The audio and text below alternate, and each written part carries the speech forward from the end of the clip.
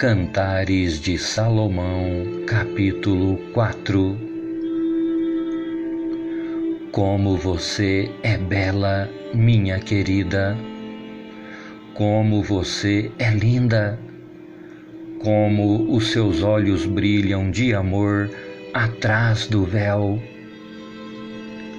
os seus cabelos ondulados são como um rebanho de cabras descendo as montanhas de Gileade.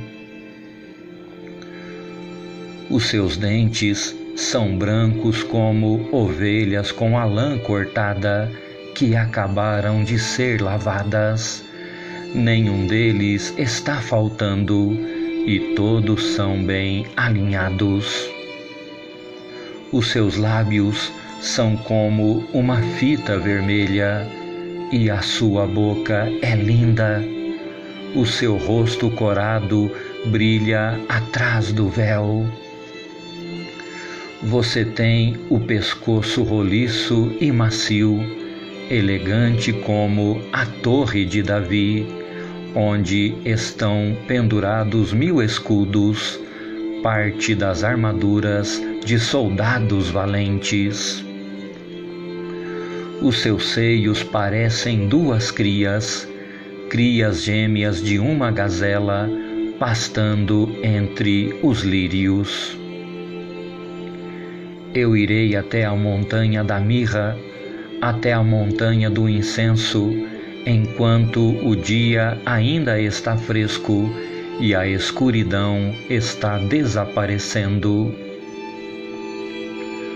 Como você é linda, minha querida. Como você é perfeita. Desça comigo dos montes Líbanos, minha noiva. Desça do alto dos montes, do Amana, do Senir e do Hermon, onde vivem os leões e os leopardos. Com um só olhar minha noiva, meu amor, com uma só pérola do seu colar, você me roubou o coração. Como são deliciosas as suas carícias, minha namorada, minha noiva. O seu amor é melhor do que o vinho, o seu perfume é o mais agradável que existe. Os seus lábios têm gosto de mel, minha querida. A sua língua é para mim como leite e mel, e os seus vestidos têm o cheiro dos montes Líbanos.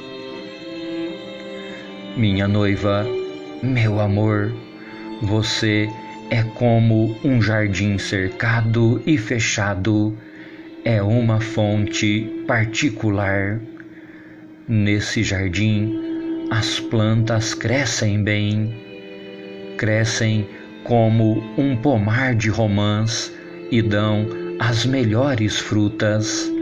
Nela existe hena e nardo, existe nardo e açafrão, canela e jasmim azul e todas as espécies de incenso. Há também mirra e aloés e outras plantas perfumosas.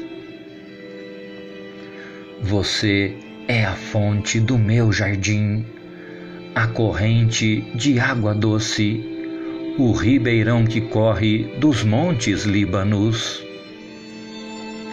Levante-se, vento norte, venha, vento sul, sopre sobre o meu jardim e encha o ar de perfume. Deixe que o meu querido venha ao seu jardim e coma as suas melhores frutas.